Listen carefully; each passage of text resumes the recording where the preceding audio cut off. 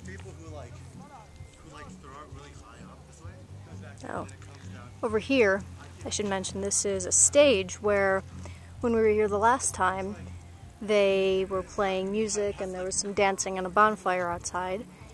And over here, this stage was sort of where the MC, Master of Ceremonies of Bonfires, was standing.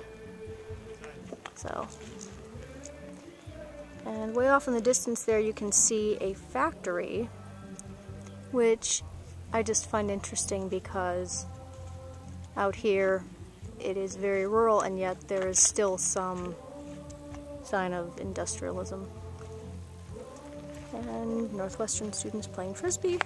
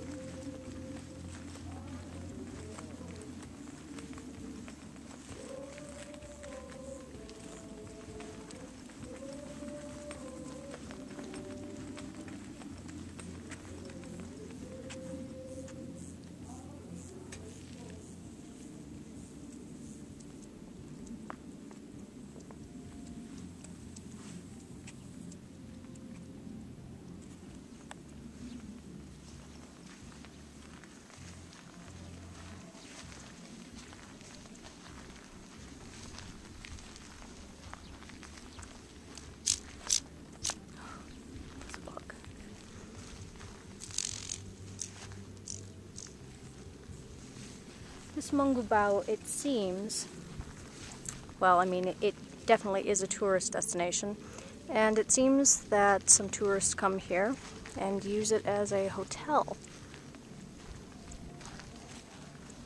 So you could say it's a yurt hotel or motel, perhaps, since each yurt is freestanding.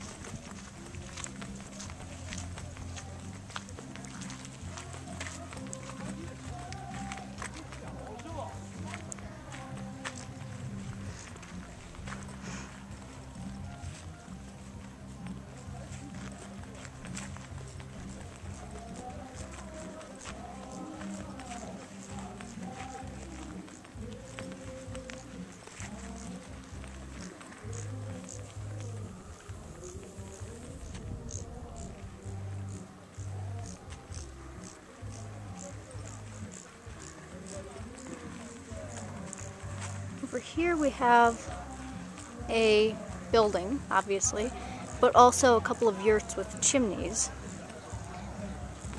I believe that this is where they cook food for the yurt village because there is a restaurant here.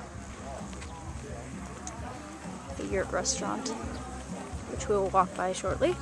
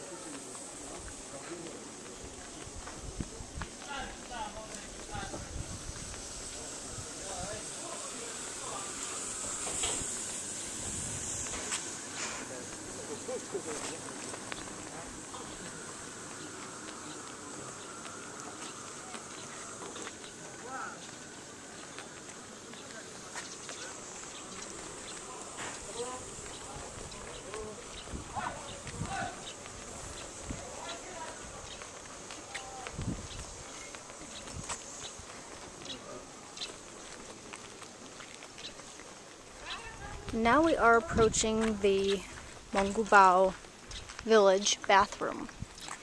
That building where that man is going into. That is the bathroom. And if no one is using it right now, perhaps we will be able to go inside. There's a little forest here, right next to the yurts.